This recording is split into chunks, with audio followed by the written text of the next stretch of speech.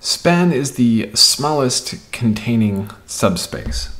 So by that I mean that if we uh, take some vectors, so let's let L uh, be v1 through vm, so this is going to be a list of vectors in V, uh, then the precise statement, and so this is theorem uh, 2.7 in the text, um, is that the smallest subspace of V containing these vectors is the span of them.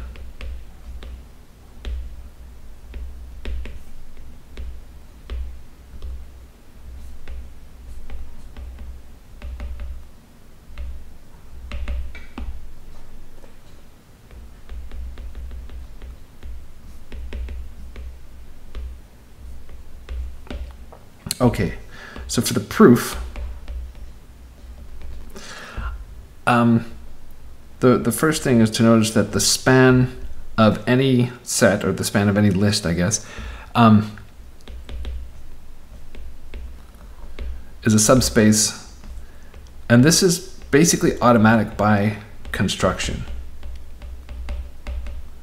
So um, the book dutifully goes through and, and, and proves this part, and, and um, I, will let you read it there.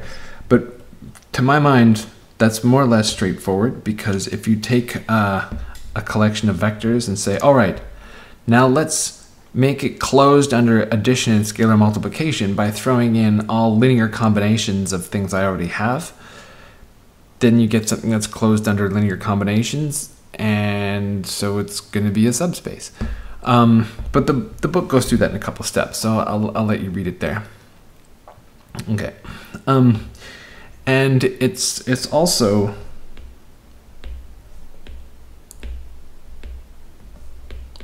pretty clear that it contains each of the, the vectors v1 through vm.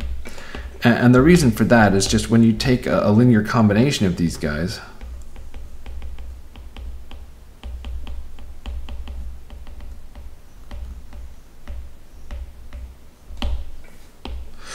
Um, you can simply set all of the coefficients to be equal to zero, except for the one that you're interested in.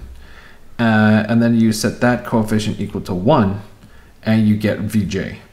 So you're going to definitely be able to get each of the individual vectors back. All right.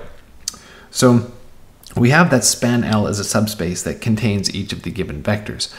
All I need to show now is that it's the smallest such subspace. So suppose that W is any subspace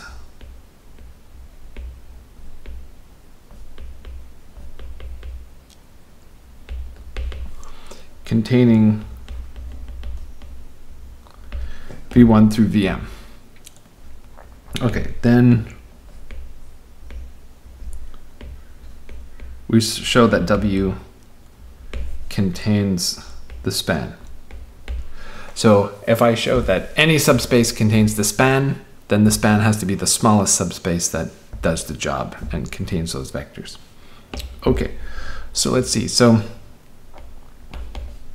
uh, so I'm going to show that the um, the span is contained in W. So let's take something from the span. All right, um, well, let's see. So now I can use the definition of the span to say then uh, U has to look like A1 V1 plus da da da da da up to AM VM because that's what the span is. It's the collection of, of all uh, objects of, of this form here. Okay. Um. Uh, and then you notice that since W is a subspace, it's closed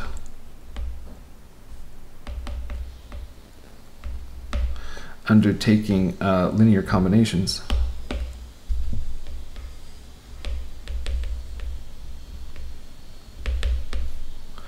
Right? So since U is a linear combination of, of elements of uh, W,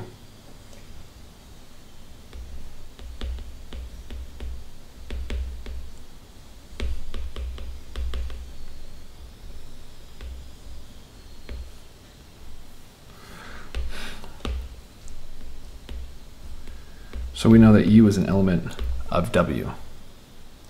All right, so I picked something in span L and showed that it had to also be an element of um, uh, W. So this implication here